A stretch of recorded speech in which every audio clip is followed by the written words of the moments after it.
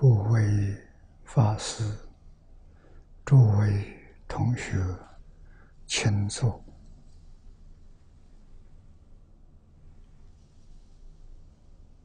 请坐啊！请大家跟我一起皈依三宝。二舍利存念，我弟子妙音。师从今日乃至命存，皈依佛陀，两足中尊；皈依大摩，利欲中尊；皈依僧伽，诸众中尊。阿舍利存念，我弟子妙音，师从今日乃至命存，皈依佛陀。两足中尊，皈依大摩利欲中尊，皈依僧伽诸众中尊。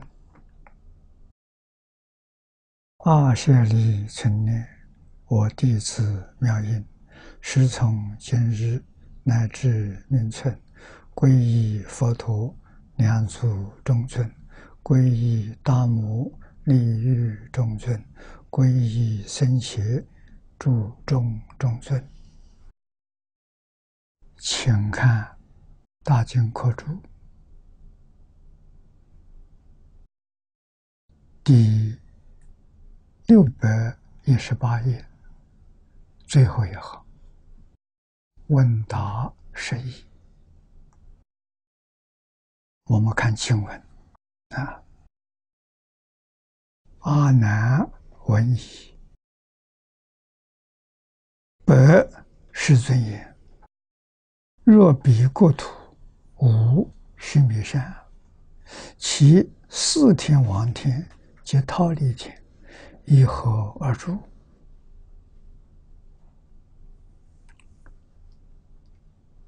极乐世界有天人，在六百一十九页第一行。西方极乐世界。有四土：凡圣同居土、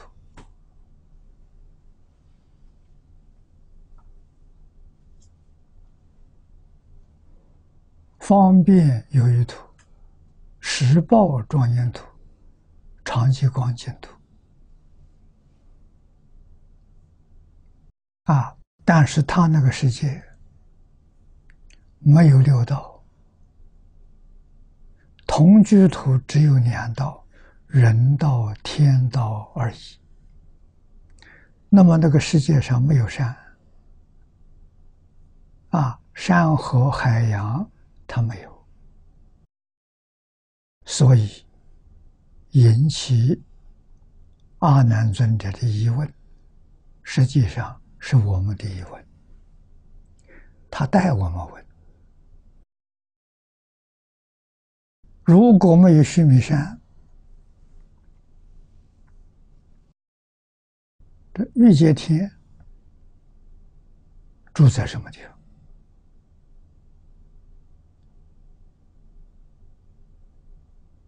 方？啊，欲界天里面，特别是四王天、忉利天。啊，这个两层都是依须弥山而住。四王天在须弥山的山腰，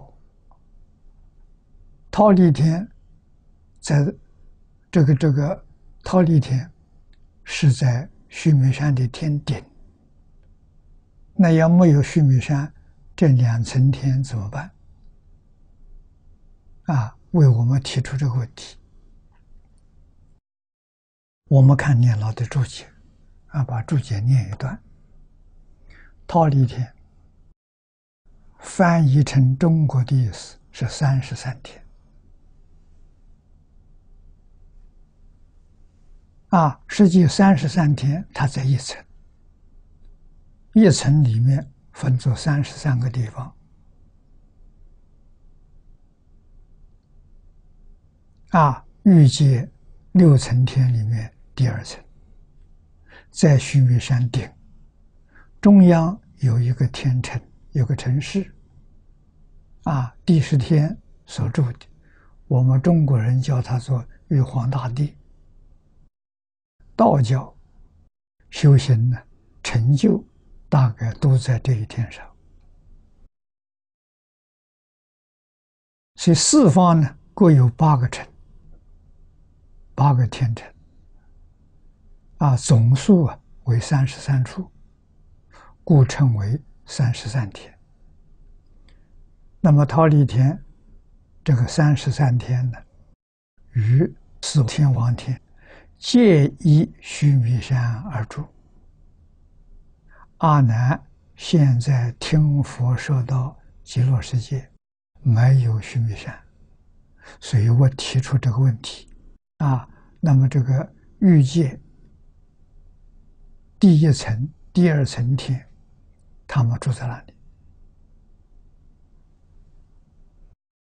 释迦牟尼佛并没有给他解答，反问他：“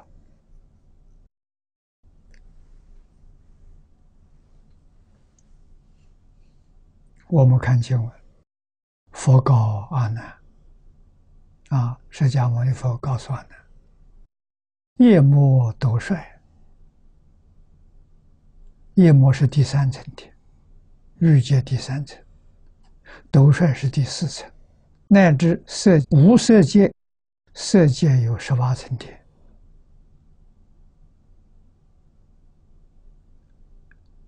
无色界有四层天，总共有二十八层天。啊，的这一切诸天呢，依何而住？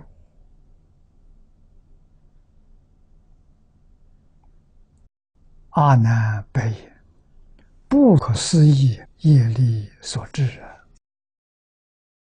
我们看黄年老的注解：夜魔、居人、虚夜摩天。中国人喜欢简单，往往把首尾的音呢都省掉。啊，像这个。把上面的音省掉了，虚夜魔，只说夜魔。啊，这欲界的第三层天，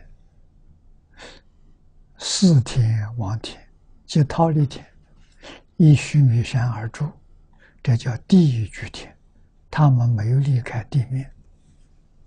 可夜魔以上呢，他们住在空中，啊，称为空居天。啊，这是音译的，夜魔是音译，意思是十分，翻作十分，翻作善分。啊，佛地论里面有有有说到，夜魔天者，为此天中随时受落，故曰。十分啊，他们这个十分就好像有表演的，有歌舞的啊。每天一定的时候到了，他们就排演啊，所以这个天很快乐啊，歌舞升平，没有斗争啊，不像忉利天，忉利天还跟阿修罗打仗，还有战争。夜魔以上没有了。斗率天呢？斗率也是音译，他的意思就是满足。我们通常叫知足。啊，底下是他的翻译的名字，上足，足就是满足。啊，妙足。知足、喜足都能讲得通，啊，这是欲界第四层。不处菩萨准备成佛，都住在这个地方。我们顾名思义就明了，成佛需要什么条件？要知足。佛是最知足的啊，所以他住在斗率天，决定住斗率，在斗率那里等候，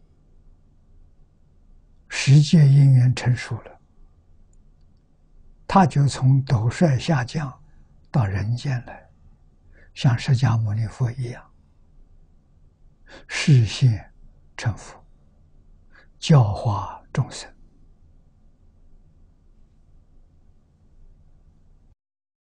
啊，所以他是欲界第四天，于无欲之乐，生习足之心，故名习足。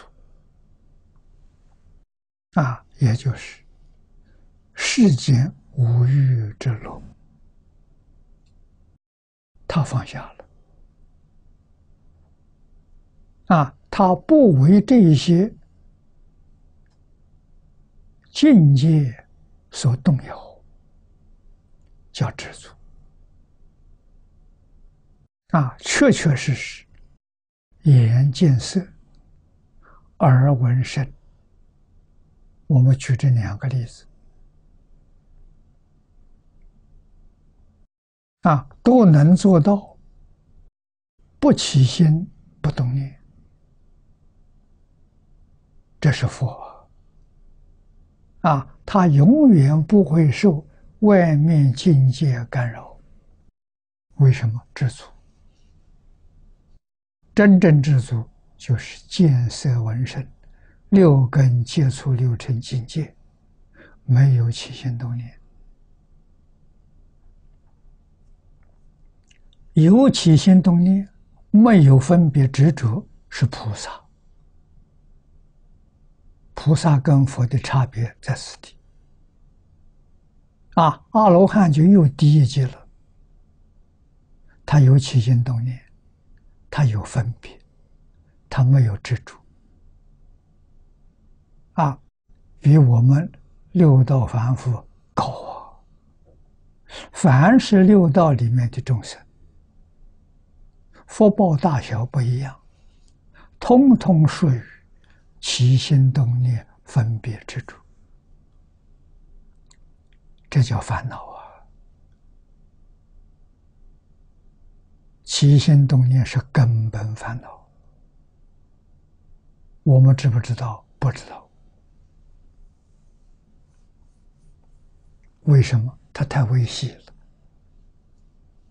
它频率太高了。啊，所有的现象，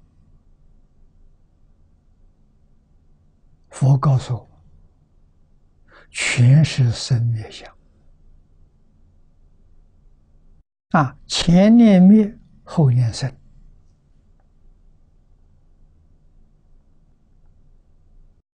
一个接着一个。啊，它没有中断的。这就是宇宙万法的真相。现在这个真相被量子力学家发现了啊！所以量子力学家告诉我们，他说这个宇宙里头根本就没有物质这个东西存在。这跟佛法讲的是一样的。三千年前，释迦牟尼佛所讲的，记录下来成为经典，流传到现在。佛说：“凡所有相，皆是虚妄；一切有为法，如梦幻泡影。”什么叫有为？有为就是有生有灭啊！整个宇宙就是在生灭这个现象里面产生的幻象，它不是真实的。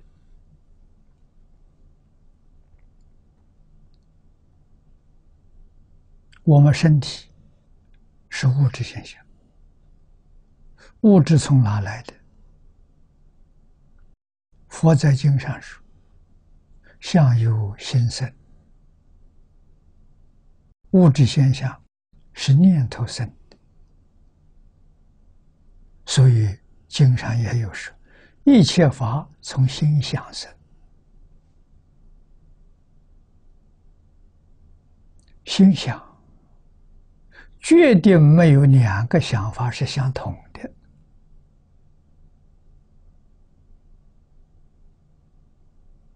啊，这一个想法就是一个画面。这画面有多大？跟宇宙一样大。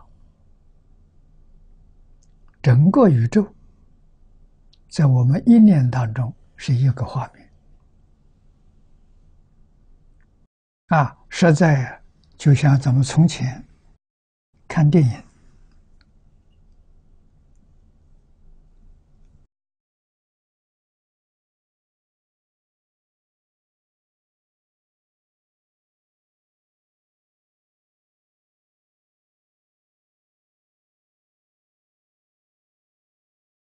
我这里还有一张电影的底片，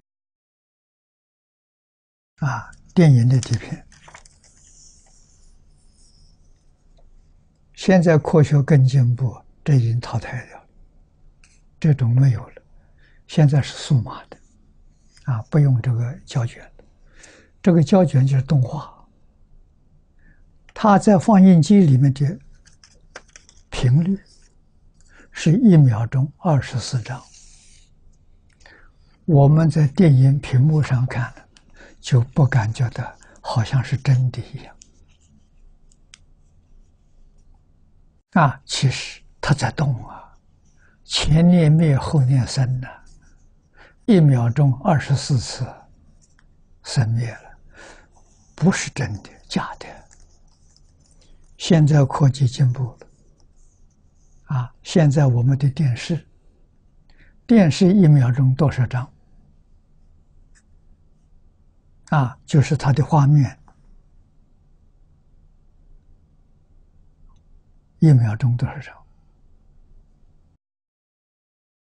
早年的电视黑白的，啊，没有彩色，那是五十张，比这个电电影快一倍。现在是彩色电视。进步了，现在的频率是一百张，一秒钟一百张。谁能够掌握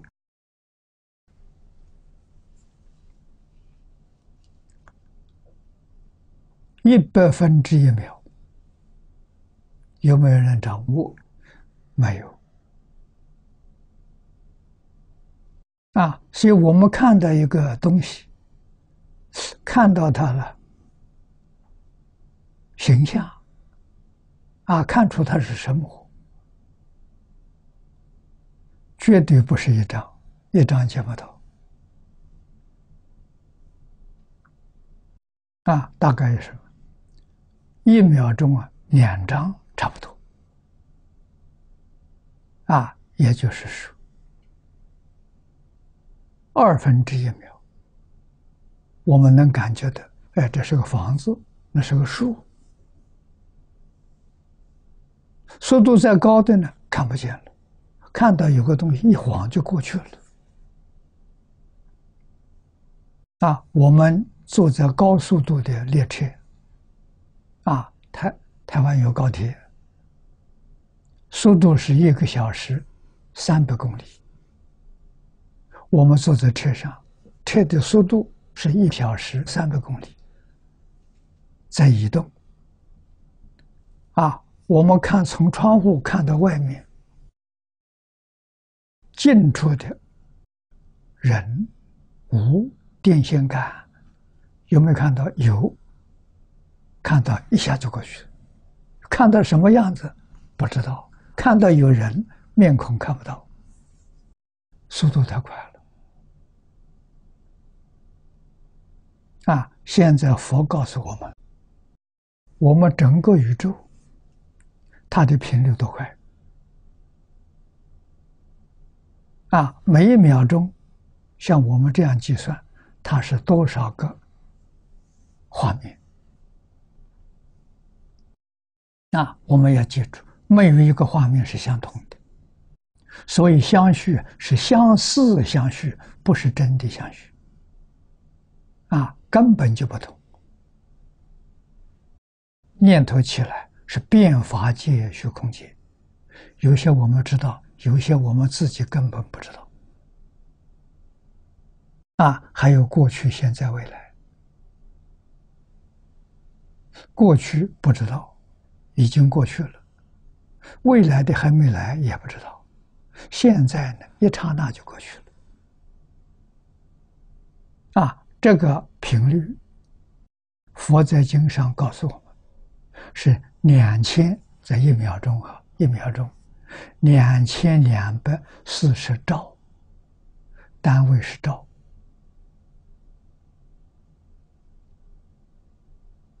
啊，万万是亿，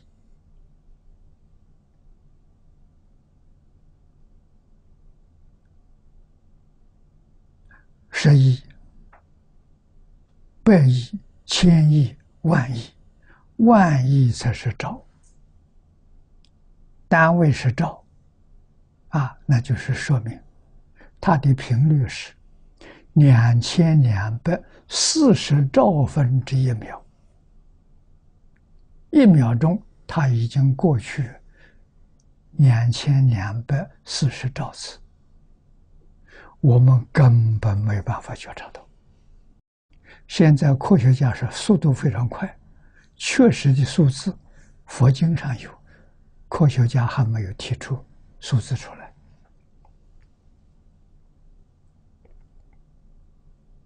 啊。不存在呀！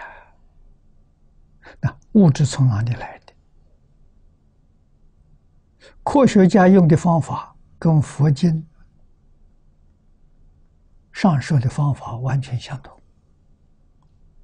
就是把物质不断给它分裂，观察，观察物质到底最后它是什么。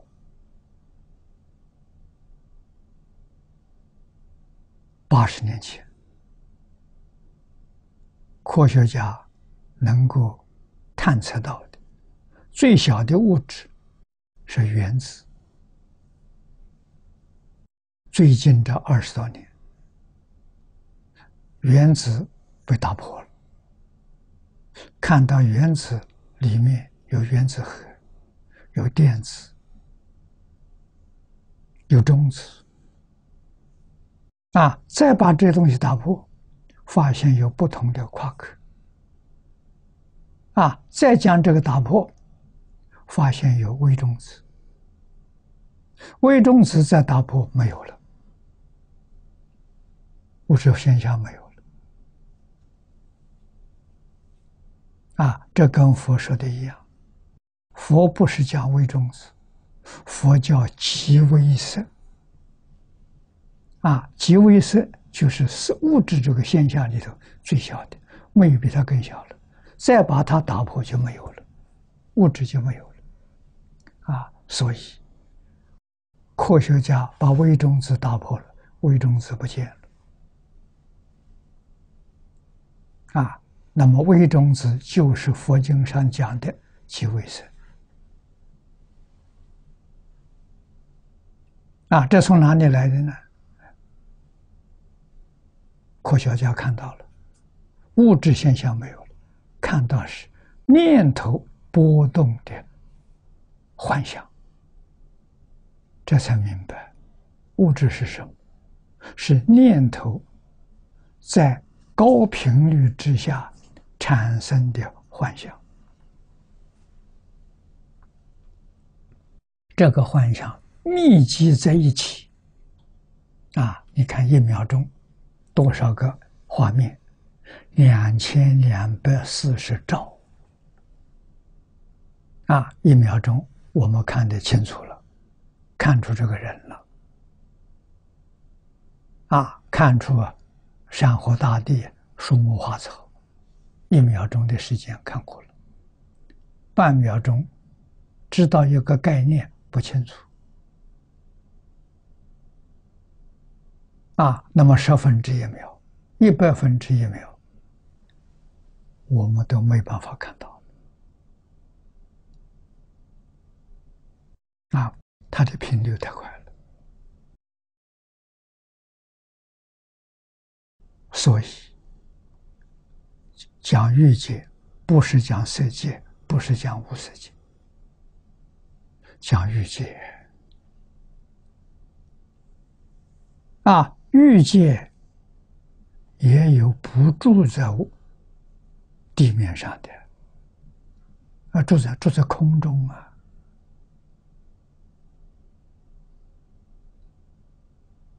啊，虚空当中有这些现象，这些现象我们肉眼看不见的，天眼可以看见。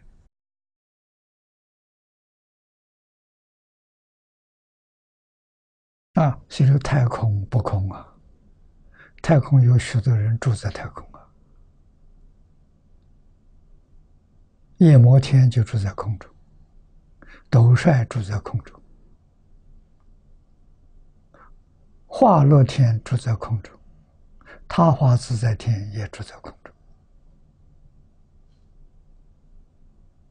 啊，通通都是心想生。啊，所以我们有理由相信，科学不断的发展，不断在进步。二十年之后，这佛教不是宗教，变成什么？变成科学，高等科学。啊，我学佛的时候，我的老师告诉我。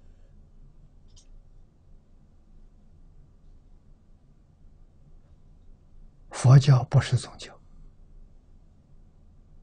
佛教是高等哲学。这六十年，让我们又发现了，佛教不但是高等哲学，是高等科学。啊，科学所发现的，佛经上全有。佛经是三千年前释迦牟尼佛说的。他们三千年之后，今天才发现，这不可思议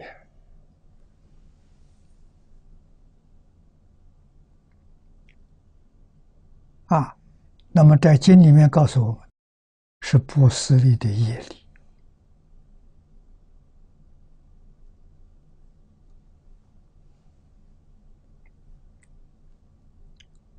啊。我们看斗帅，斗帅是第四层天，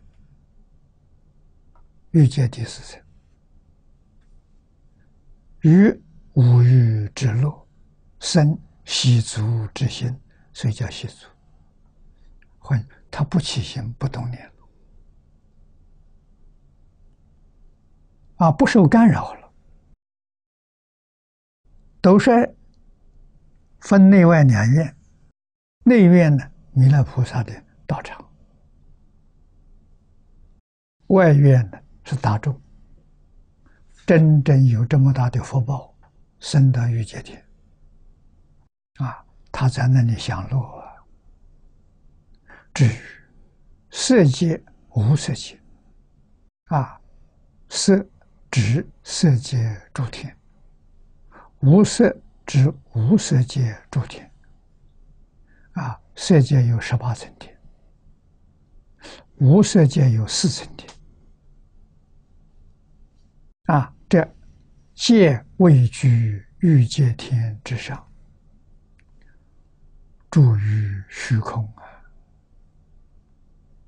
虚空不空啊。有天眼的人，有法眼的人，有慧眼的人，都能见到。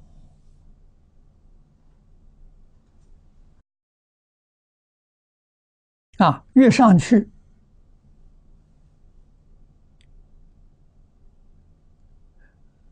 越巧妙，越殊胜。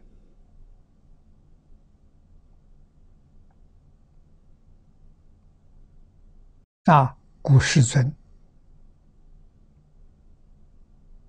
反问阿难：“啊，若无须弥，天？”住在哪里？啊，以为天没有住处了。夜魔以上住天，住于何所？今娑婆世界，夜魔住天，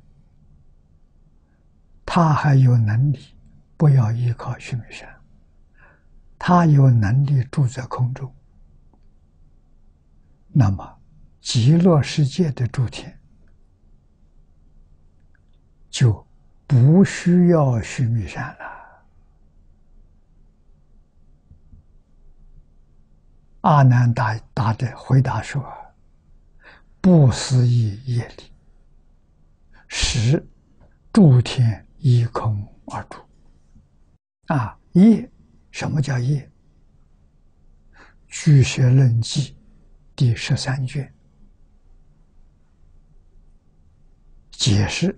说造作乐业，为身口意所造之业。做善叫善业，造恶叫恶业。善业有生乐果的，我们今天讲能量啊；恶业呢有生苦果的能量，所以叫业力。啊，在有部品内也，这是佛经的名字。不思议业力，虽远必相见，果报成熟时，求必终难脱。啊，这是说业力不可思议。啊，远是时间长。啊，经历再长的时间，它不会消失。遇到缘，果报就会现前。佛知道，菩萨知道，啊，阿罗汉知道，所以我们起心动念。言语造作，不能不谨慎。啊，初学不造恶业。啊，佛经给我们举了个例子：十善业道。啊，十善业道里头，第一个告诉我们：不杀生，爱护生命。果报的健康长寿啊，不偷盗，不淫欲啊，不妄语，不两舌，不恶口，不绮语，不贪，不嗔，不痴，这叫是善业。翻过来就是恶业啊。是善业，能成就善果；是恶业呢，赶来的恶报。啊，所以一切众生，他住在这个世界，啊，他的果报都是自己修的，过去生中修的，这一生来感受。这一生所造的，来生受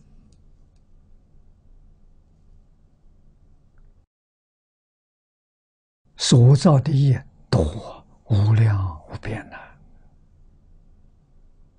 啊，阿赖也是我们中国人讲妄心、杂念、妄想这个里面含藏善恶业意业种子无穷无尽呐。那佛教导我们，善恶业的种子都要把它消掉，都不是好东西。为什么？出不了六道轮回。六道轮回从哪里来的？设法界从哪里来的？原因就是这么一桩事情。啊，那我们怎么办？佛首先教我们断恶修善，也就是远离三恶道。啊，要么受嘛，就在三善道受报。更进一步呢，断恶修善，要认真做，做完之后不要放在心上。放在心上，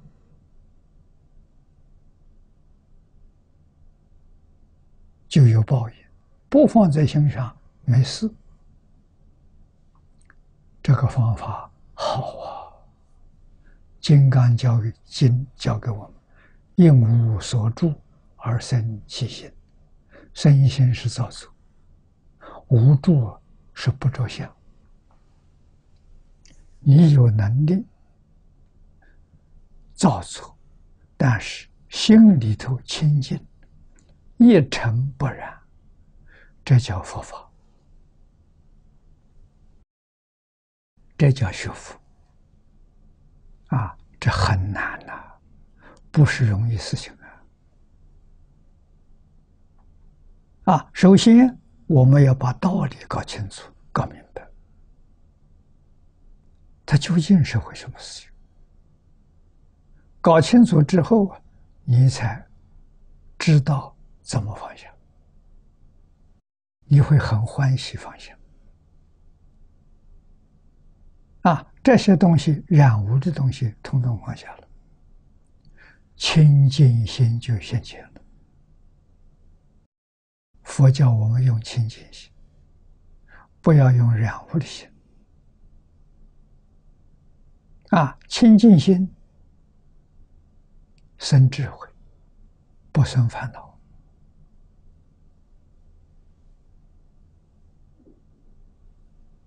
啊，在佛法修学的地位上，那就是阿罗汉。啊，等于说佛办学校，佛一生办学校，办的有小学、中学、大学，有研究所。啊，小学毕业。阿罗汉是小学毕业，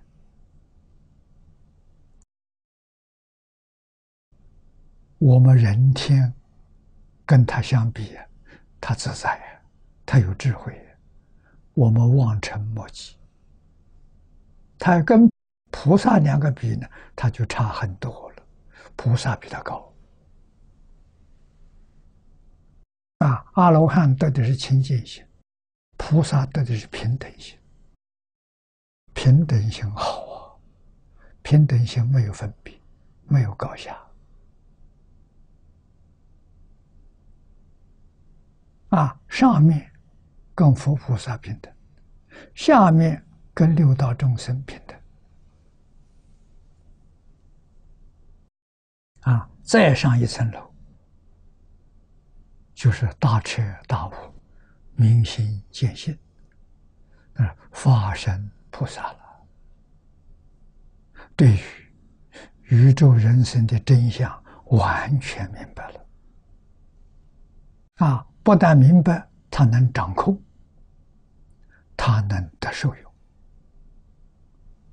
啊，菩萨明白一些，不能掌控，到化身菩萨能掌控，这里面得大自在。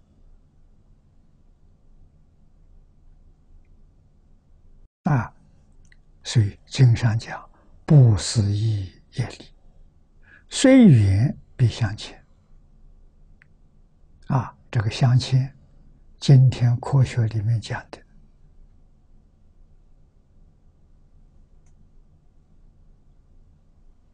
科学也有个名词。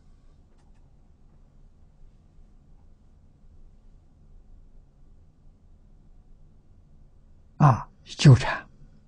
今天科学名词叫纠缠。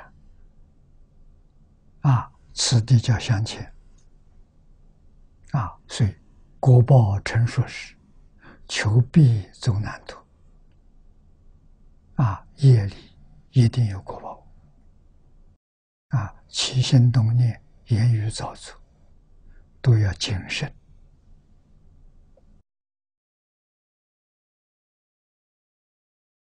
我们再看。底下这一段，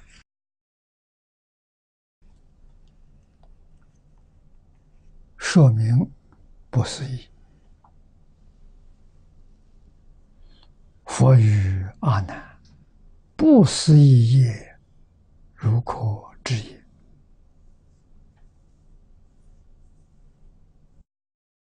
不可思议的造作，它的影响，你知不知道？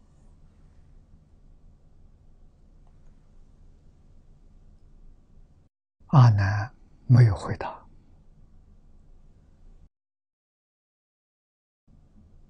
没有回答就是他不知道啊。啊，佛接着说：“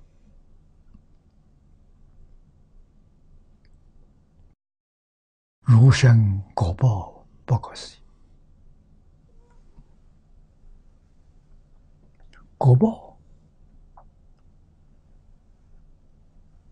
据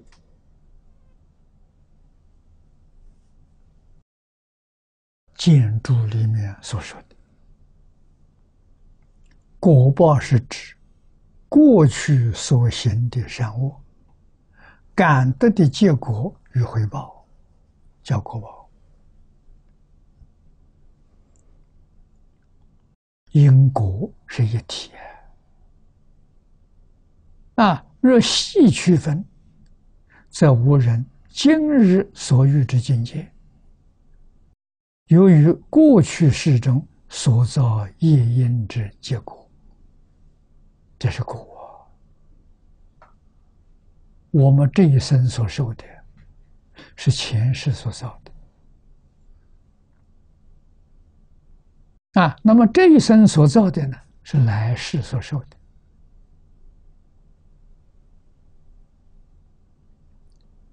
这是真的，不是假的。可是现在呀，跟从前不一样。从前确实是讲来生后世，现在的果报甚至这一生做的，这一生就干果啊，与过去是不相干。啊，像我们举个例子，贪污，这是恶业。啊，造作的时候以为没有人晓得，不定什么时候被拆穿了，人家一举发了，法庭一调查是真的了，就得判刑，那判刑就是果报啊！啊，财产被没收了，自己要坐牢。啊，自由都失去了，果报就在眼前了。啊，让我们自己看到了。那么现在这个地球上的人，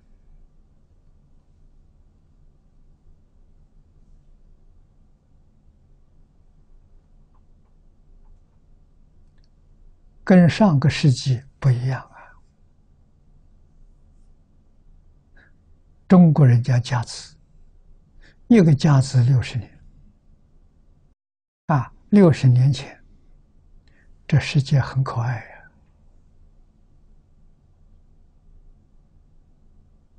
那我们那个时候到台湾从大陆到台湾。台湾的人口总共六百万人吧。啊不多。人与人之间。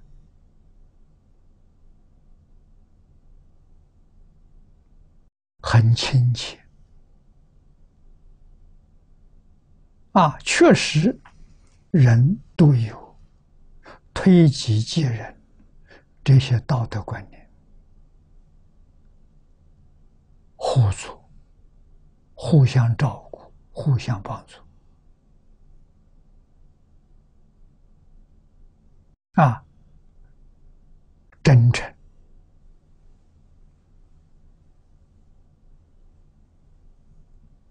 啊！上街上买东西，货真价实，没有假的。现在连医医药都是有假的，你说怎么得了？现在人都骗人啊！完全考虑到的是自己的利益，不顾别人死活，所以伦理道德没有了，因果也不相信了，以为自己很聪明啊，那么这种造作，果报会现起，什么果报？灾难了啊！你看现在这个灾难特别多，五六十年前没有啊，很难得听到哪个地方灾难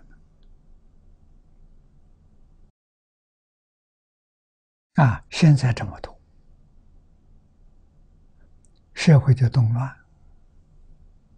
人与人之间。这有人告诉我的，现在人是假人，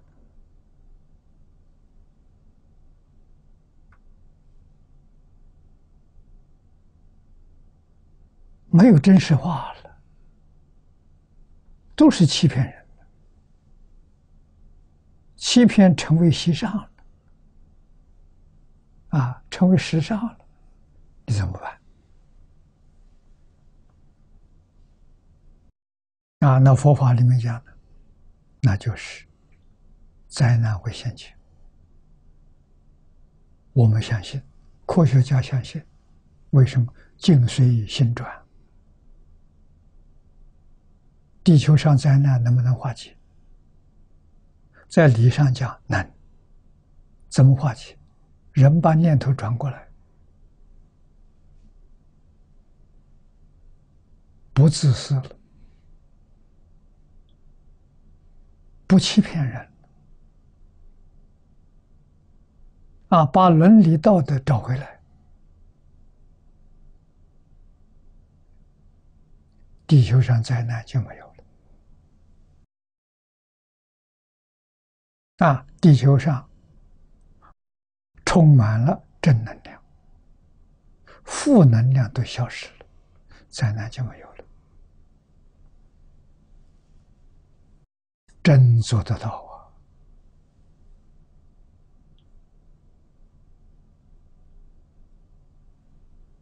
啊！啊，我记得在二零一零年，世界上有一些科学家在澳洲悉尼办了一个论坛。啊，里面有一天，这一天专门就讨论一个专题：玛雅灾难预言，就是二零一二，讨论这个预言。总结是美国一个科学家布莱顿，他是个量子科学家，他讲得好，他说只要。地球上的居民能够弃恶扬善、改邪归正、端正心念，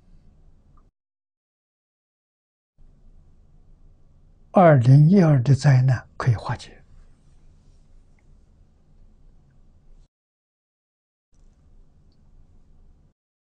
讲的一点都不错啊！他所依据的理论。就是物质现象是受念头控制的，念头变了，物质现象就变了，跟着变了。啊，佛法讲一切法从心想生，又讲相随心转。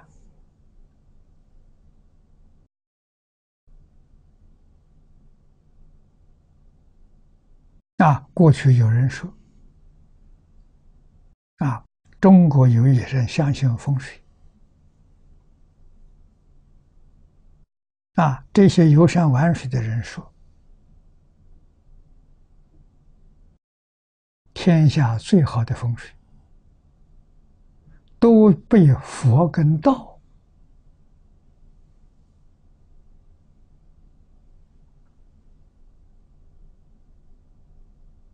掌控去了。为什么？佛的寺庙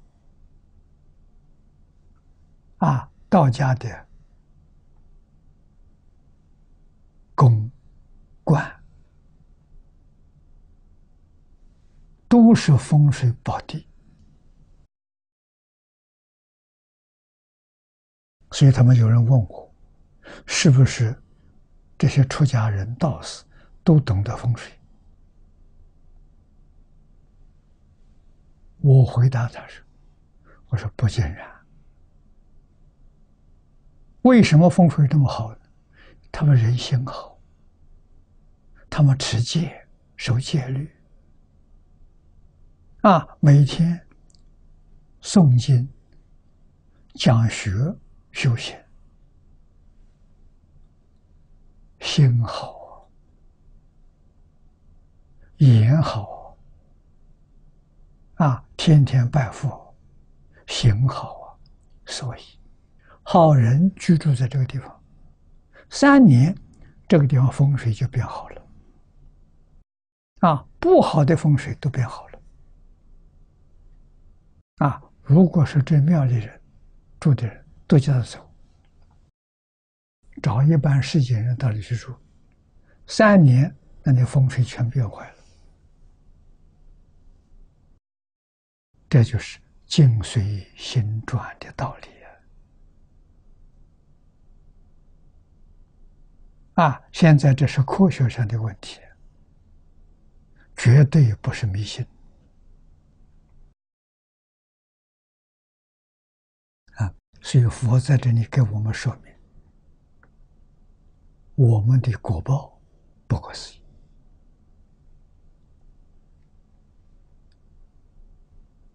啊，这是真的，不是假的。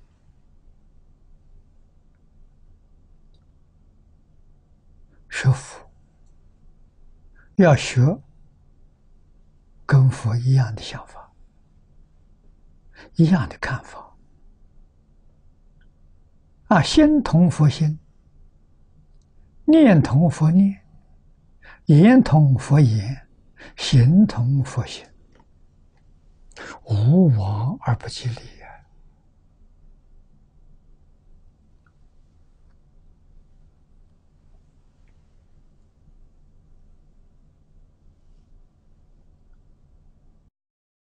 诸佛菩萨，我们中国古圣先贤，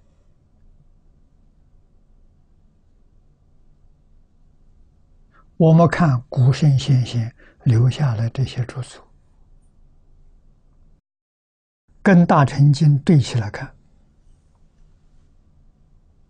我们会发现，中国古圣先贤是佛菩萨再来的。都是大彻大悟，明心见性，见性成佛，都是这个境界。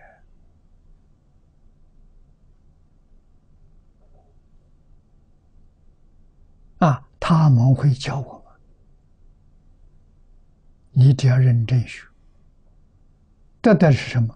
第一个，身心健康。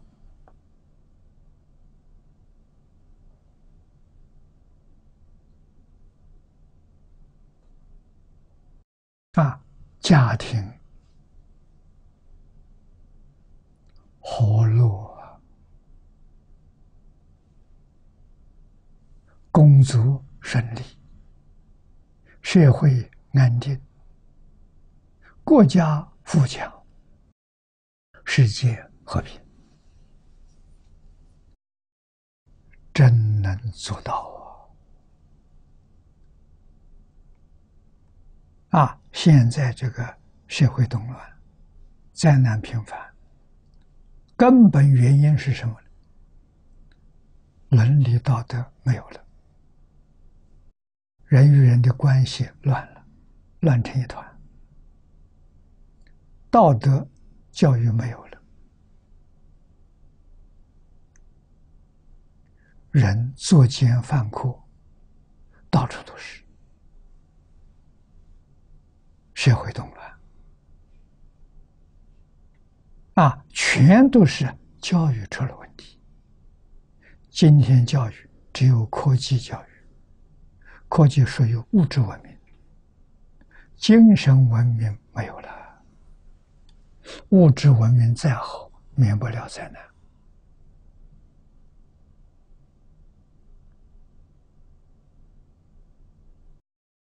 这一点不能不知道。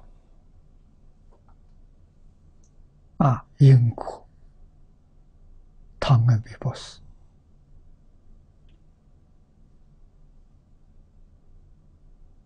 他过世是一九七五年。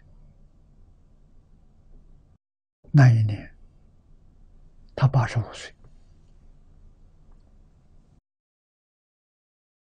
他晚年，就是八十岁以后，曾经三次到过日本，接受访问，也留下不少的资料。啊，我们看他晚年这五年的言行。菩萨化身了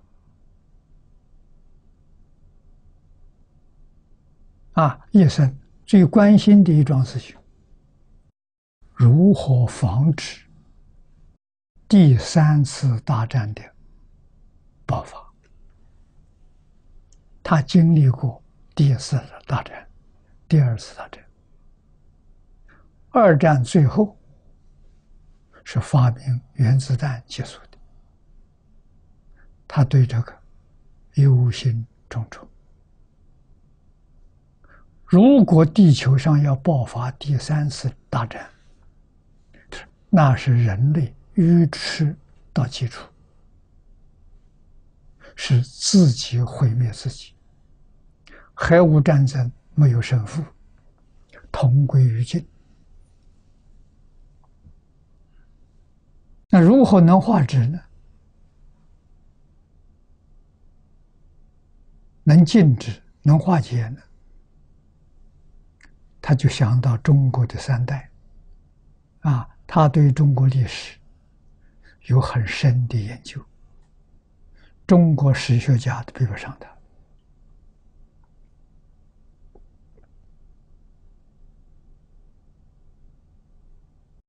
他说要用三代的方法，三代是夏商周。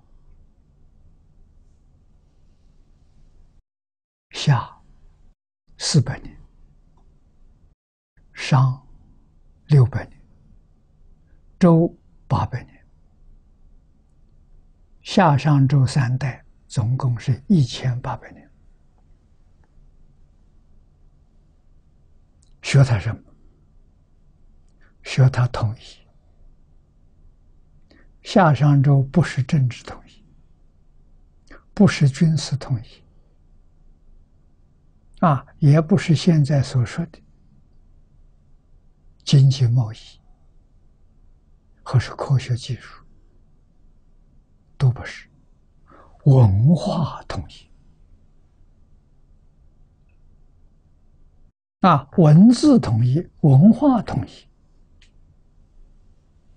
所以夏商周出现盛世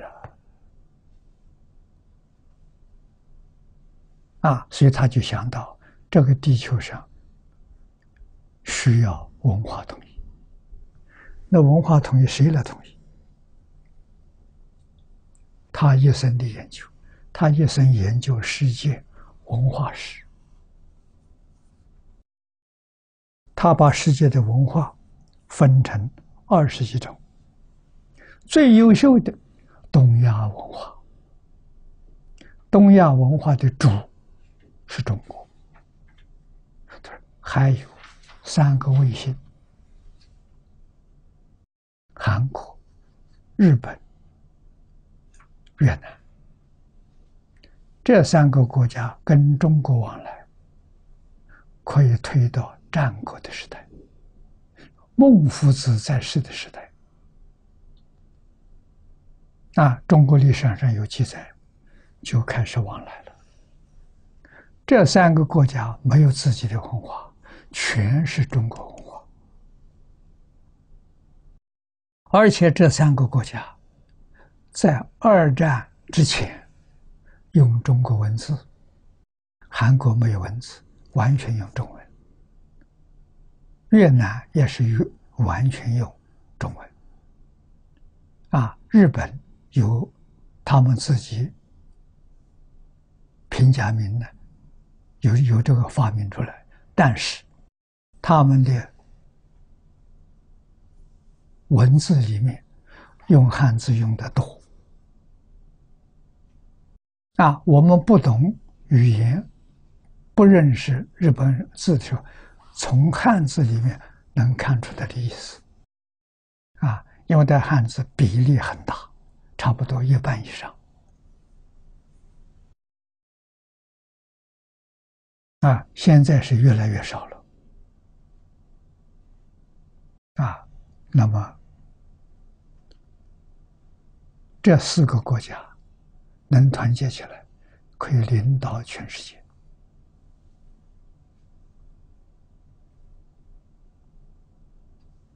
啊，汉字，希望汉字变成世界文言，啊，不是语言，语言不变，文言就是书写的文，这个文字，啊，所以现在国际上提倡汉学的人越来越多了。汉学日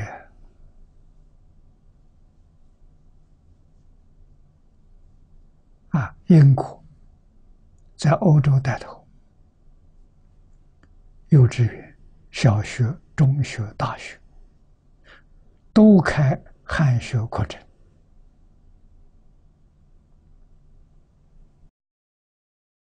我听到这个信息很欢喜，所以我就想到英国看看。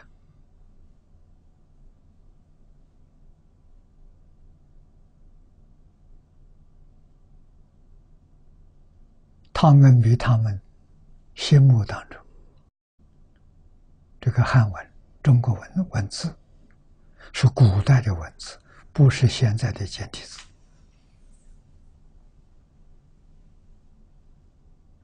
啊，是文言文，不是白话文。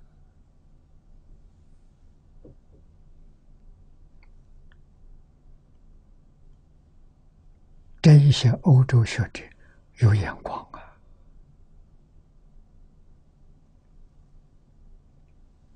啊。所以他们热衷，呃，中国将来要强起来，大家都在学中文，学北京话，学简体字，准备跟中国的往来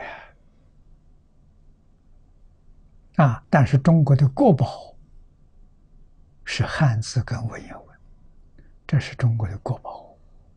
中国在这个世界上几千年，它还那么兴旺，它不衰，它没有被消失，靠什么？就靠汉字文言文，就靠这个东西。啊，这个东西统一了中国这个民族，统一了这个国家，统一了亚洲这么大的地区，这比什么都重要。啊，所以我们趁他们有汉学日，提醒大家，汉字重要，文言文重要。啊，希望他们办汉学院，培养老师，能够教汉字、教文言文的老师，比什么都重要。啊，中国人最了不起的是智慧，是伦理道德。啊，圣贤的这些智慧学术在哪里？都在《四库全书》里头。这是宝！你学这个东西，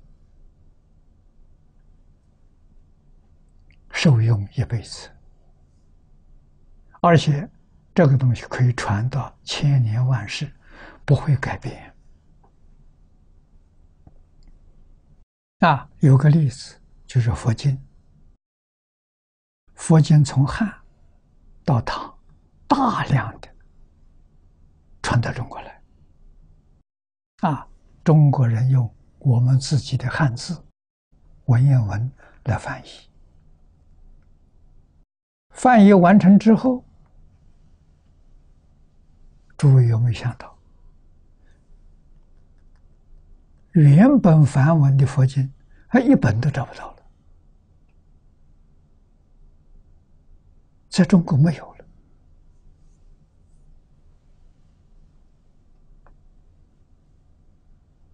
我为这个事情找过方老师、方东梅先生，我说为什么没有把这些梵文典籍留下来？老师笑笑告诉：“用不着了，我们翻译的正确，意思没有错误，文字中国文字比梵文更好。梵文是拼音文字，拼音文字顶多不过是二三百年。”说话语音变了，那个文字看不懂了，会被淘汰掉。翻成中国文字，再传十万年都不会改变。这个有价值啊！所以世界上任何国家民族的典籍，如果要准备留给千年万世之后的人都能看得懂，一定要用文言文来翻译。他才能保得住啊！全世界只有这一家了，没有第二家。啊，任何文字都不能跟中国汉字文言文相比。这智慧，真是智慧。这话说的有道理啊！啊，所以佛教是异族文化，不是中国的。啊。异族文化传到中国，中国人心量大，没有把它消灭，还把它发扬光大，啊，还用这么多的人力，把它用汉字文言文写出来，啊，让他永远不会改变，千年万世传给后人，这是中国人的心量。这是中国人的爱心啊！所以中国人领导全世界以文化，每一个国家的这些文化，将来都会写成文言文，都能够保存到千年万世。这是别的国家人做不到。别的国家人我很优秀，你们不如我，把你消灭了。中国人不会有历史为证的，五千年的历史，中国人没有欺负过别人，没有伤害过别人，没有占人家一寸一尺土地，啊，跟人往来，啊，总是接受人家的少，付出给别人的多。啊，中国人讲究礼尚往来，啊，回礼一定比他送过的多一点。这个交情在厚道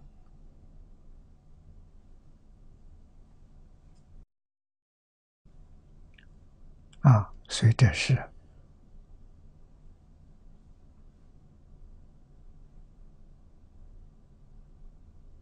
佛给他讲的这个开示，举他身体最切贴切的啊，一生的果报就不可思议。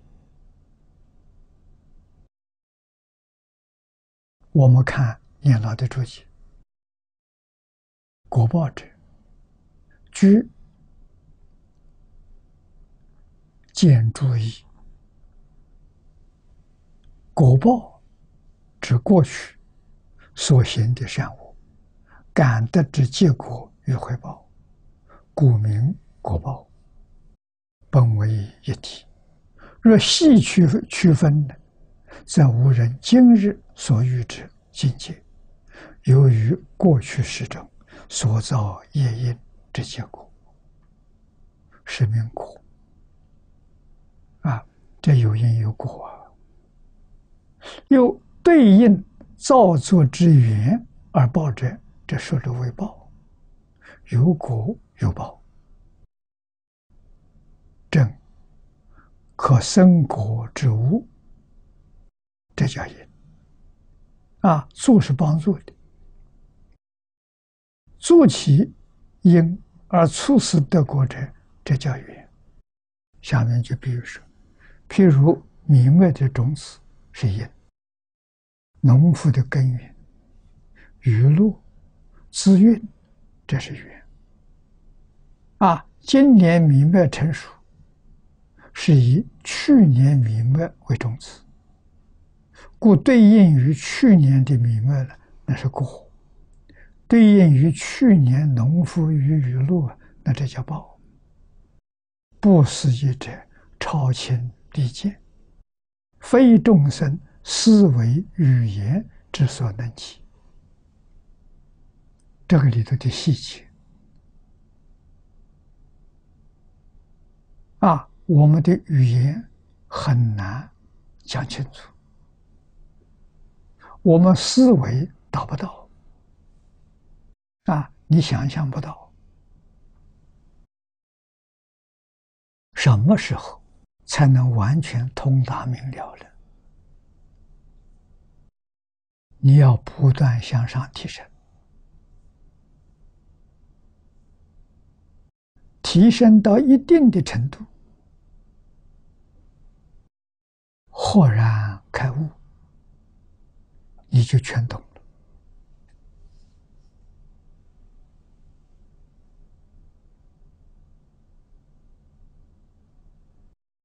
这就不能不读书啊！读书是修行，读书的功德无量无边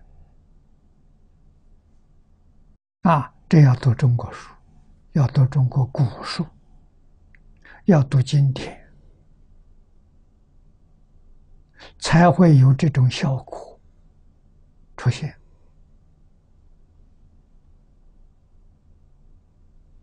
啊！这是真。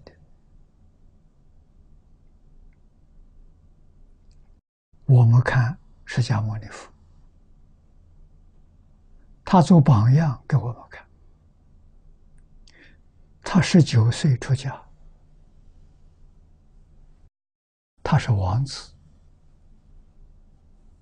啊，出家代表的是放弃王位的继承权，他不做国王，放弃宫廷里面富裕的生活，啊，富贵的生活，放弃了，他去做个苦行僧。年轻好学，印度在那个时候是地球上宗教之国、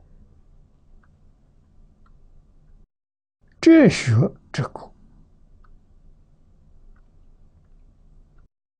印度所有的学派宗教，他全学过，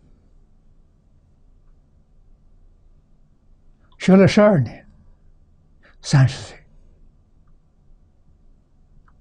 他感觉到所学这个东西解决不了问题，于是放弃了，啊，不学了。放弃了，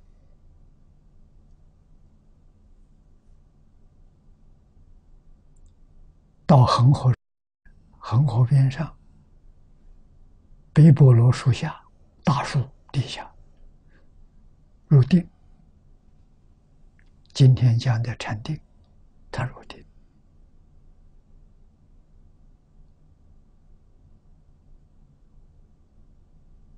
晚上。看到天上明星，豁然开悟。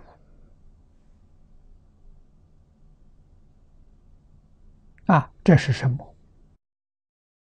向外面学是知识，知识有局限性，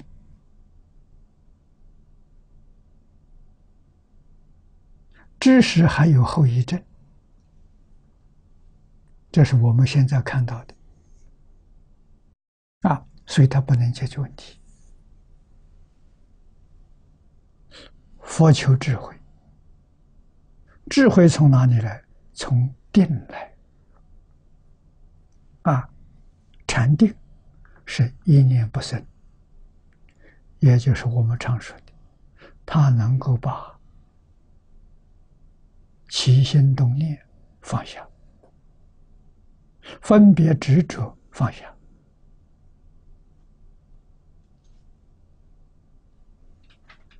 分别执着放下，一般讲就是大定，不起心不动念，这是最高层的定功。他从这里开悟。啊，悟了之后，一切都明了了。那么他从事教学，三十岁教学，七十九岁过世，一生讲经教学四十九年，四十九年讲这么多的东西，谁教他的？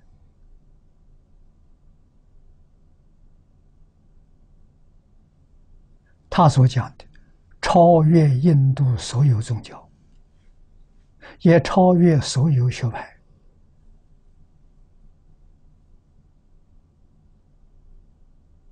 没人教他。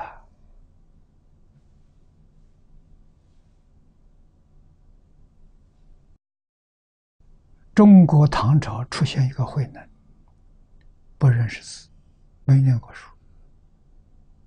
啊，根性很利，是个樵夫，苦力了，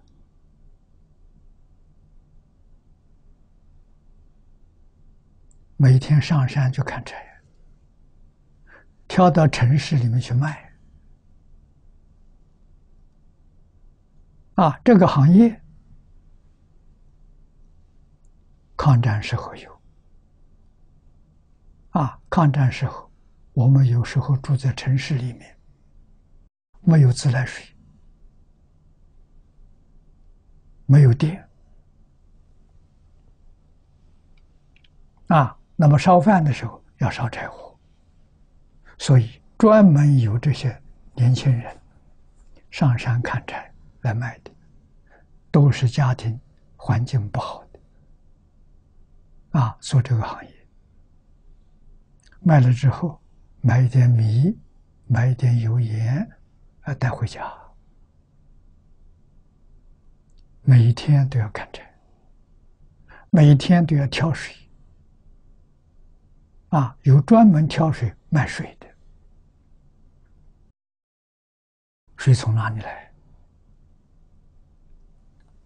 护城河的水就很干净，就能吃。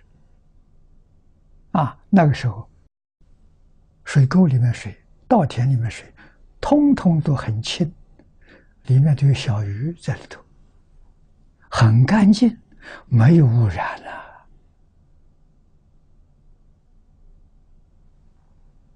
啊，所以他们跳水就跳河水呀，长江边上跳江水呀，啊，专门搞这个行业的。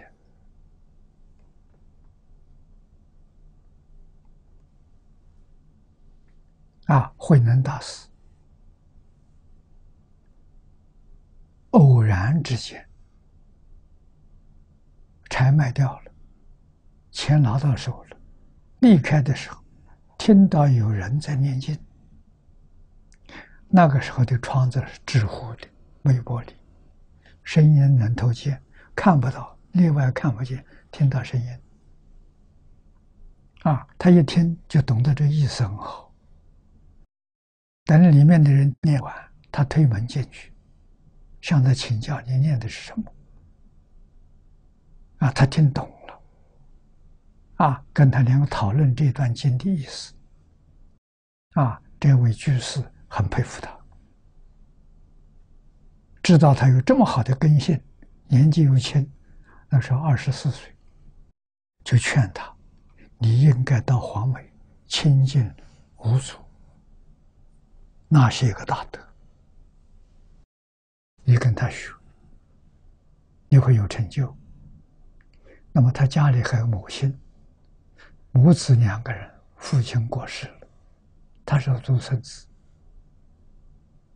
母子两个人相依为命，那他要走了，妈妈怎么办？啊，这个局势很难得，送他十两银子，那十两银子很大了，啊，足可以过一年都不止啊！啊，还有一些学佛的同学帮助他照顾他母亲。带他去了，在黄梅八个月，八个月干什么？干老本行，啊，舂米、破柴，干这个，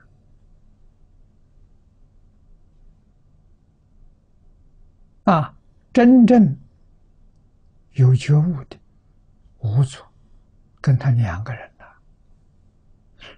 没有人知道。啊！啊五祖知道他快成功了，啊，就公开征求大家写偈子给他看，他要传法，啊，写一首偈子来看。如果真的见信，一波要传下去，啊。三天没有人写偈子，那时候他的大弟子神秀啊，神秀心里想：大家不写，因为我在，我要不写呢，没人写了，啊，所以他就写一首偈，又不敢送给五祖。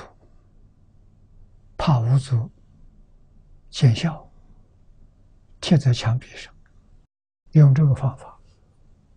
啊，这首诗很有名啊！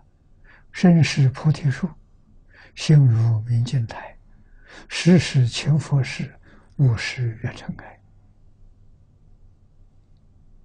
哦，大家看了，欢喜赞叹；无祖看了，也点头，告诉大家，依照这个修行。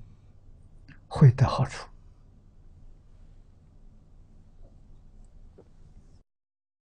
这个事情传到对方，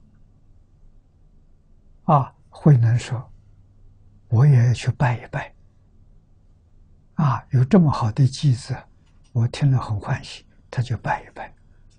不知道路在哪里，贴在什么地方不知道。从这一句话，我们就了解。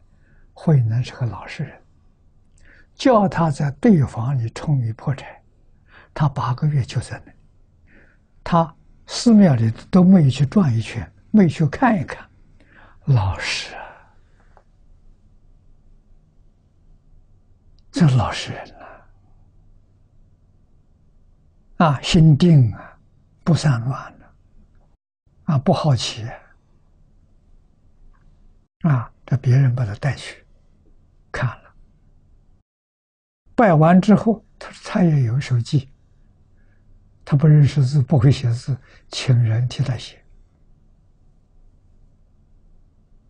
啊，就有个人带他写，他把神秀记子改了。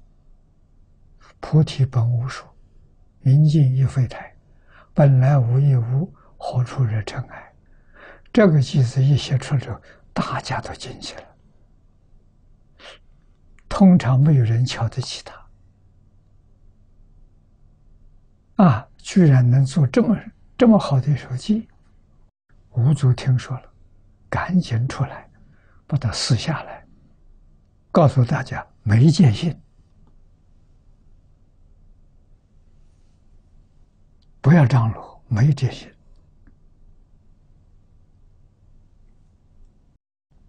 啊，下午无足寻了，现在就是整个寺庙看一遍，到处看一遍叫寻了，实际上就是找慧能，因为找慧能目标太显著了。用这个方法，大家不知不觉，啊，到对方看的是聪明，就问他：“你熟了没有？”他熟了，很早就输了。有钱晒在，还没有晒。这个话里头有话了。吴祖问他是不是开悟了，明心见性？问这个，啊，他说我早已经。见性了，没有个人给我做证明。吴子的拐杖在他腿上敲了三下，走了。没有人知道，他晓得。三更到方丈室里去找他去。晚上三更真去了，啊，推门门里头没有栓，一推就开了。五祖给他讲经啊，讲到一无所住而生其心，他知道啊，他用五句话，二十个字，那就是他的毕业论文，就他传法的文章，何其自信，本自清净；何其自信。本不生灭，何其自信本自具足；何其自信本无动摇；何其自信能生万法。无祖说：“行了，别说了。”到这里，无祖把他止住了，一波传给他，叫他赶快走。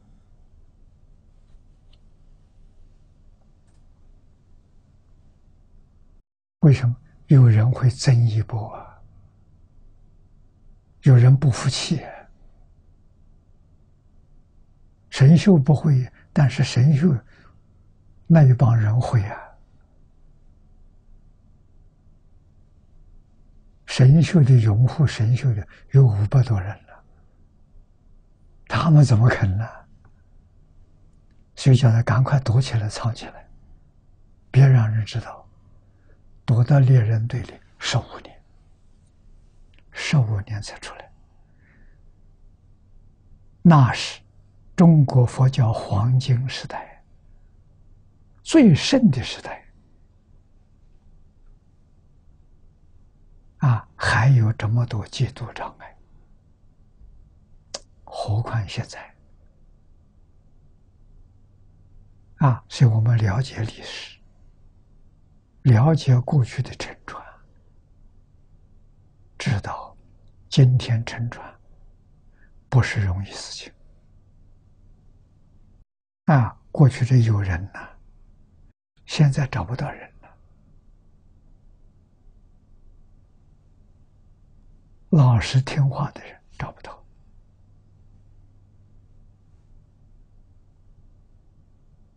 啊！修道的人条件，老实听话真干。有这三个条件，可以栽培。啊，没有嫉妒心，没有好胜心，没有攀比心，啊，没有给人竞争的心，这个才可以。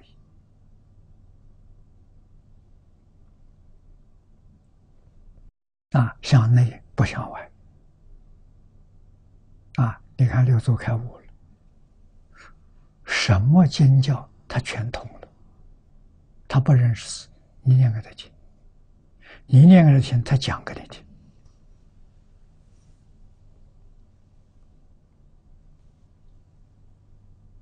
啊，无论世出世间一切法，他全通。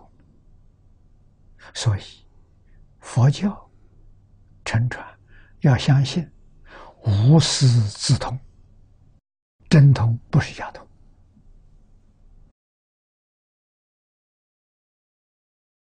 大悟，大通啊；小悟，小通。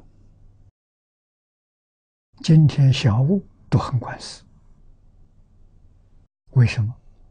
不通的人太多了啊！不是有学位就通啊，有学位不通的人很多。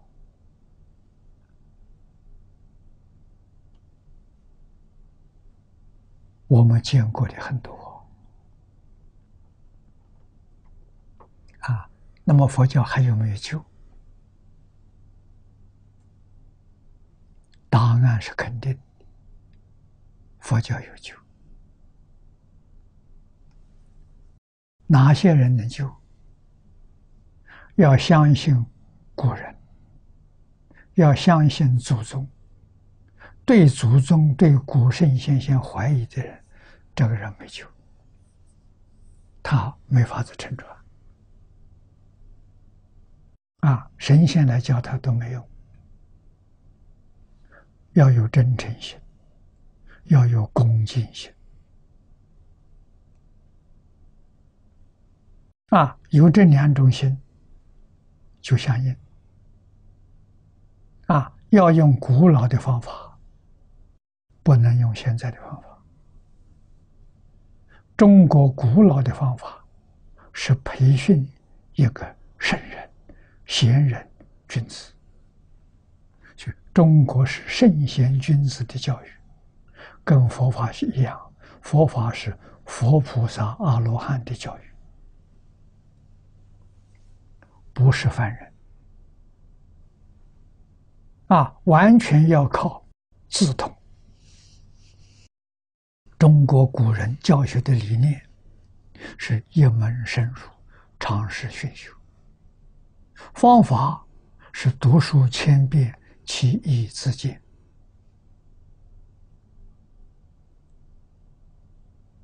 啊，我们现在还真有两个人依照这个方法就干，干得很有成绩。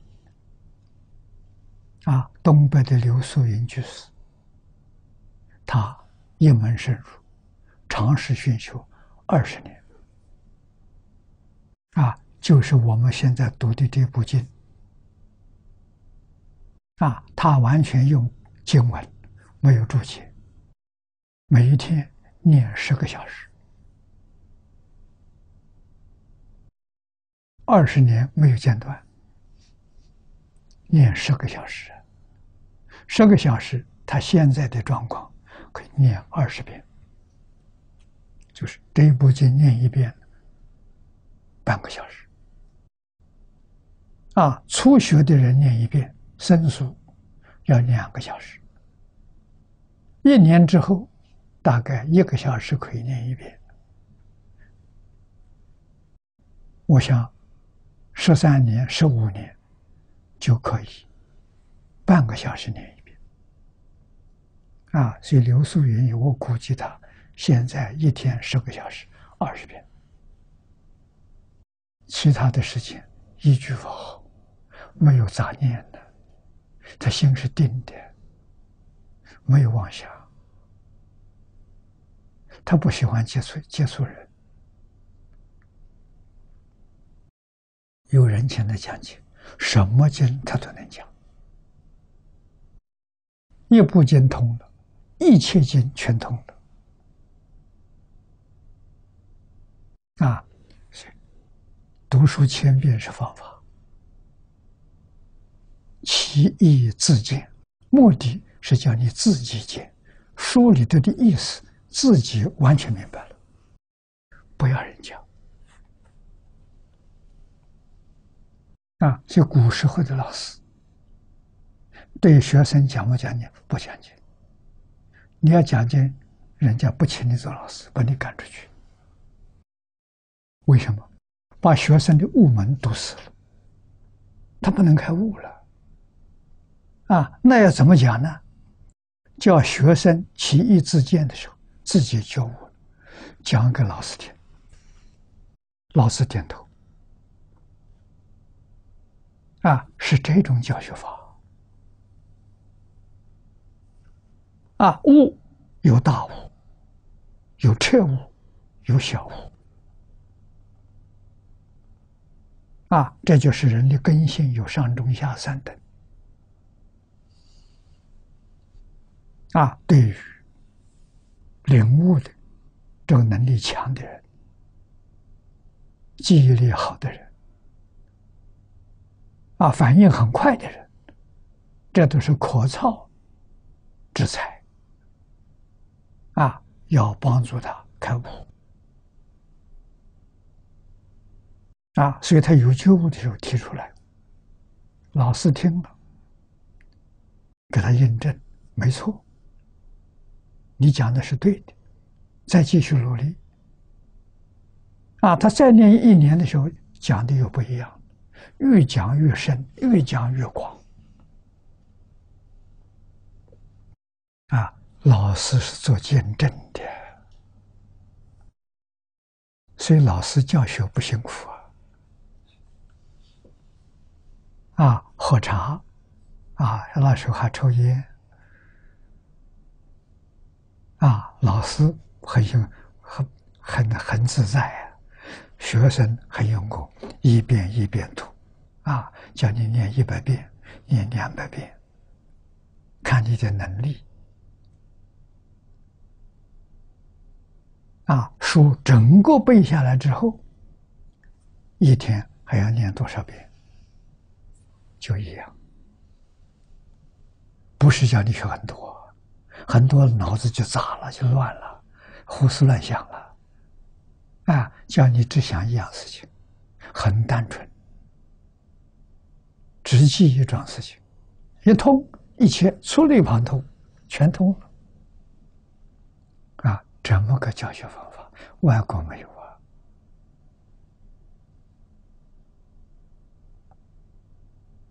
英国威尔斯大学校长，我跟他谈这个问题的时候，他懂。他说：“确实，东方的这个这个智慧比西方高，方法不一样，理念不相同。”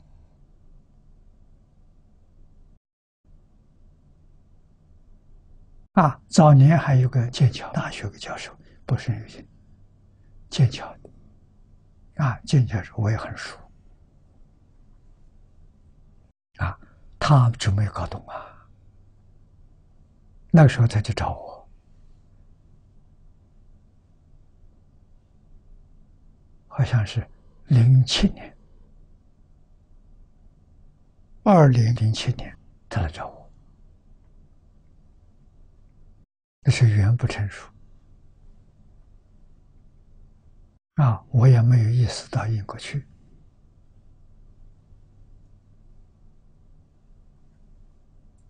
啊，他特地来找我，到香港来住了两天，谈了六个小时。汉学家，啊，我是教学，教学最重要的教育的理念，你怎么个教法？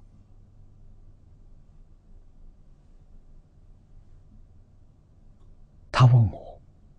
我说我没有方法。我说古人有方法，他很惊讶。古人是谁？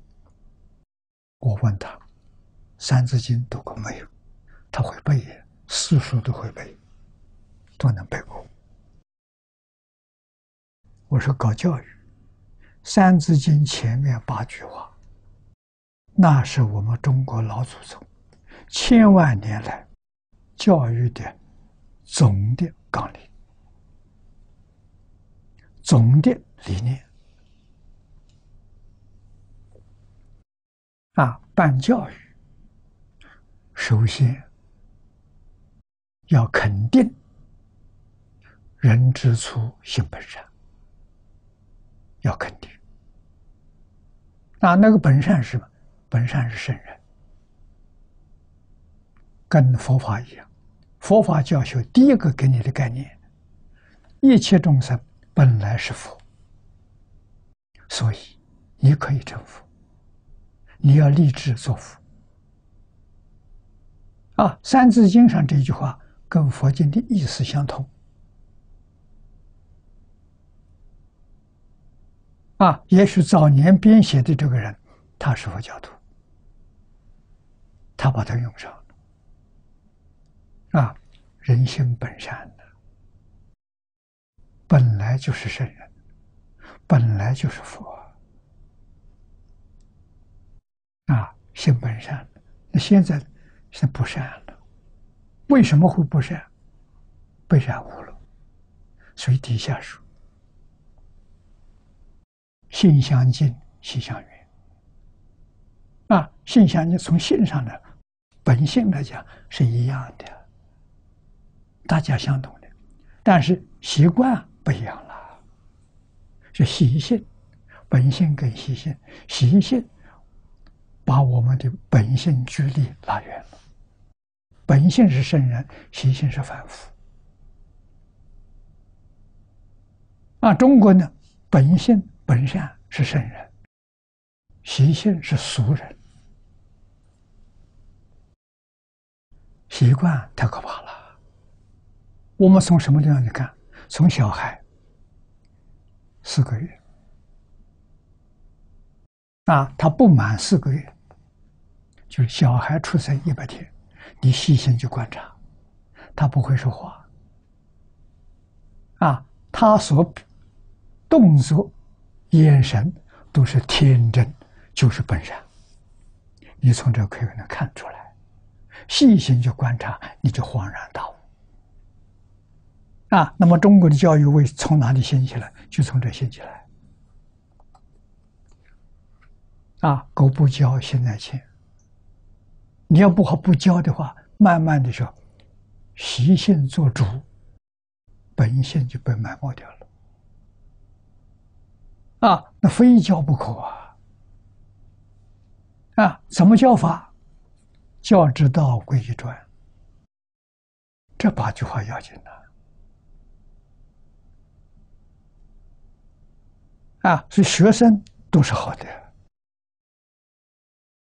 老师说他学习不及格，把他开除掉，留班，那什么？那不会教啊。你怎么可以舍弃他呢？啊，因材施教，才有上中下三等，教学有上中下三个标准。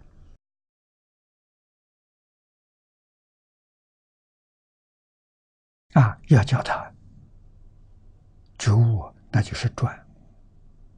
啊，专就是一门深入，长时熏修。啊，这是教学的。依据理念的转方法呢？读书千遍，其义自见。要晓得那个千遍不是叫你背的，是自然会背。念上一千遍，他就会熟了嘛，自然的。副作用那不是主，主是什么？主是禅定，用读书修定，智慧从哪？智慧从定生的，戒定慧嘛。因戒得定，因定开慧，用读书的方法修定的。至于你记得的时候是副作用，那不是主要的。啊，老师不是希望你会背呀，老师是希望你得三昧，得禅定。得禅定是清净心得到了，平等心得到了，就会大彻大悟。现在外国没有啊，走遍全世界没第二家。啊，中国这个老店有这么一套东西，现在没人知道了。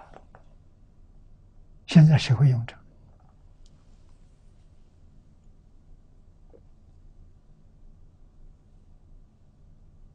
啊，就在中国，中国人自己都不接受。啊，哪有不学就会的？哎，真有不学就会的，无师自通的。啊，我们走的这个路子太难了。啊，威尔斯大学校长很了不起啊！我说这个他能赞成，他不反对我，他是真有。啊，那么我们三年到五年当中，有几个护士真的自通，啊，不要多，有那么三个五个，这就给学术界做证明，这个方法是中国祖传的。啊，与释迦牟尼佛有关系。释迦牟尼佛也是原传的，啊，他没有老师，啊，他学的那些宗教有老师，学的一些哲学有老师，他佛法没老师，啊，慧能没老师，啊，现在还有一个，刚刚过世没多久。海鲜老和尚不认识字，没念过书，他通了，他真的大彻大悟啊！事出世间一切法，你去问他，他全知道，他没有一样不知道。他一门深入，一句佛号，师傅就教他一句佛号，师傅厉害，有神通，认识人。传他的一句话，告诉他一直念下去，明白了，不能说，不可以说，那个明白人开悟，虽然是大彻大悟，他保守，他不说，所以这个老和尚是个了不起的人，他给我们做表法。一三年一月走的，一百一十二岁。这个照片是走的前三天照的。一百一十二岁，身体健康，不需要人照顾，每一天还在农田里面干活。啊，一百一十二岁自己上树。去测试，都有本事啊！头脑清楚，一点不迷糊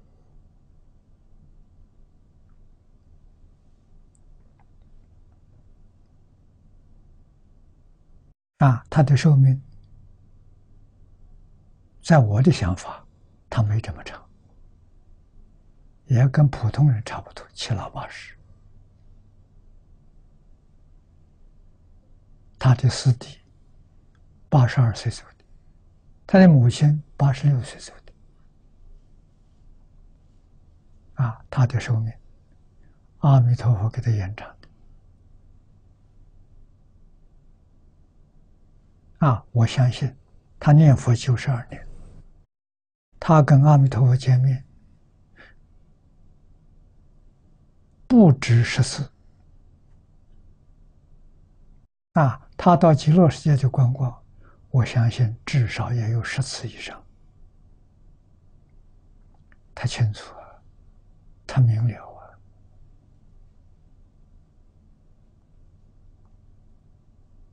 啊，啊，他有使命来的，啊，告诉我们，佛法是真的，不是假的。告诉我们，极乐世界真有，阿弥陀佛真有。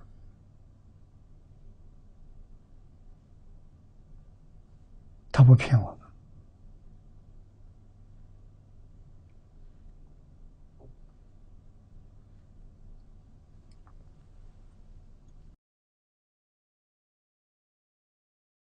啊！所以这一段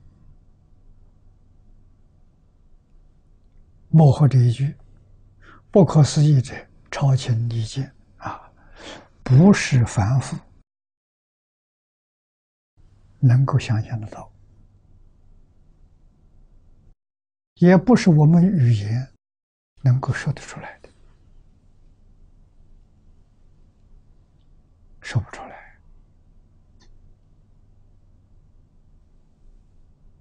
啊，情是我们自己一般人的判断、想法；见是看法。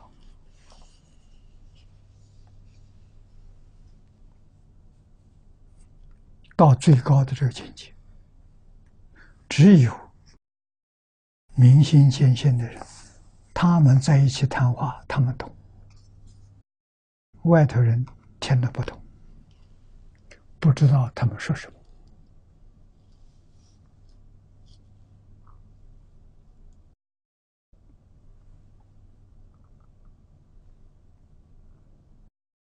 我们遇到不容易啊。太难得了，所以我这一生感谢老师。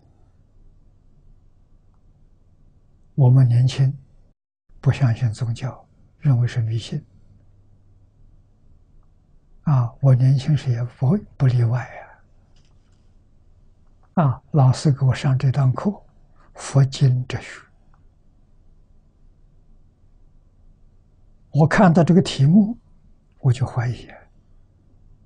我向老师请教，佛教是宗教，是迷信，他哪来的哲学？啊，老师告诉你还年轻，你不知道。对，释迦牟尼是世界上最伟大的哲学家，大乘佛经是全世界哲学的最高峰，学佛是人生最高的享受。我是在这个课堂里面才相信，才接受了。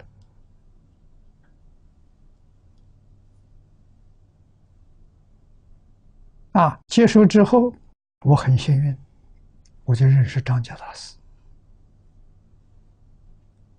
那是个专门搞佛学的，我方老师是附带的，他搞哲学。啊，不过他的哲学最高峰的地方是佛学，他真干不是假的。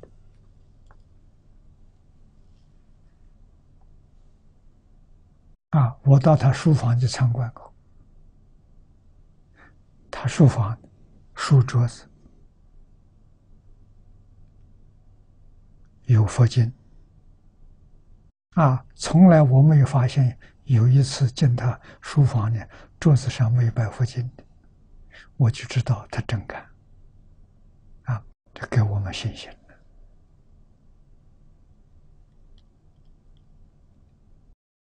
好，今天时间到了，我们就学习他似的。